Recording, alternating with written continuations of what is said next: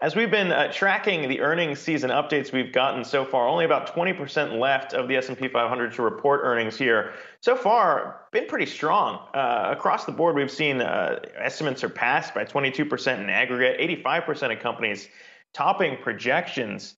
But our next guest says a return uh, to share buybacks and M&A activity could play a bigger role moving forward here. And for more on that, I want to bring on Michael Arone, State Street Global Advisors uh, U.S. SPDR Business Chief Investment Strategist, joins us now. Uh, Mr. Arone, could be chatting with you again. Thanks for coming back on. Uh, when we look at it, I mean, earnings season, you can look at it as we're getting strong beats, but not necessarily bigger pops on an individual basis. The market's obviously trended higher, but where do you put us right now, and why should investors maybe be focusing in on what we've overlooked in an increase in share buybacks? Well, I think what's interesting here is that both investors and policymakers continue to underestimate the incredible recovery in both the economy and earnings kind of throughout this pandemic. So, consistent quarter after quarter, the numbers are beating by wide margins, and analysts are struggling to catch up. And so I think that's one of the key takeaways is that the numbers just continue to be incredibly strong. And one of the things that I kind of continue to point out is that there's a lot priced into this market.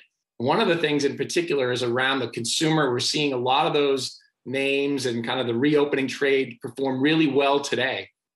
But a lot of that's priced in in terms of uh, we saw March personal income, savings, household savings, spending, retail sales, consumer confidence all really strong. I think what's being underappreciated or unappreciated is that businesses are also influenced by the same dynamics, and their earnings and cash flow is incredibly strong. And I think it's going to unleash an incredible spending boom by businesses throughout the remainder of this year.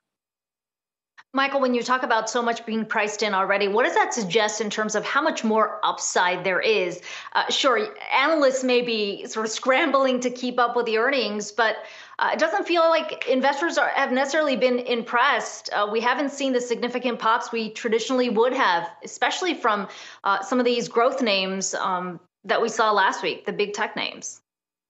Well, so I think what's interesting is that there is an element of things that are priced in. So you gotta you gotta kind of look for what may not be priced in. And I think what's interesting here is, as I said, with businesses have cash that's 30% higher than where it was at 2019 levels. It's actually 6% greater than peak levels back in 2017.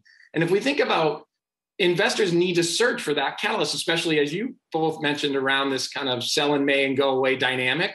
If you're searching for a catalyst, business spending could be it.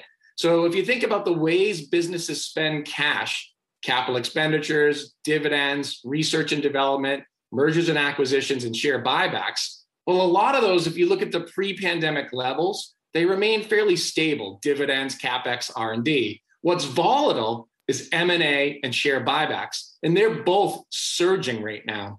So share buybacks are supposed to increase by 30% this year off of admittedly low levels. You have a lot of base effects because last year, not surprisingly, companies slash spending, dividends, uh, all kinds of stuff. But now, similar consumers, they're going to spend like crazy. And I think that is going to be your catalyst to support these higher stock valuations going forward. Yeah, and obviously with financials, we saw that kind of mandated there by the Fed in terms of what they were able to do. Uh, but when we look at, you know, Apple would be a good example last week when we talked about the $90 billion uh, share purchase program there, uh, upping their dividend by 7%. But when you look outside maybe some of these bigger names, uh, is it also a factor to be considering when we talk about this rotation back into maybe the small caps there? Uh, is it the same propensity and the same catalyst that would be there for some of these smaller companies to put cash to work? I think it is perhaps on a lower scale. So, look, all businesses want to kind of strengthen their competitive position, you know, get greater scale, improve their efficiencies, whether they're large or small. I think the natural targets of this M&A are going to be smaller in mid-sized companies, but they'll also be looking to kind of um, grow, uh, gain operational efficiencies, um, get scale, look for global scale. So I think those things are kind of interesting uh, as well. But I think the natural beneficiaries to an increase in M&A activity will be small and mid-sized companies, value-oriented companies. And Zach, I think you mentioned it, kind of technology, healthcare, and financial services. I think all those categories are beneficiaries. The first quarter saw 1.3 trillion in global M&A activity. It's the largest quarter in M&A activity since the second quarter of 2007, which was only, was 1.4 trillion.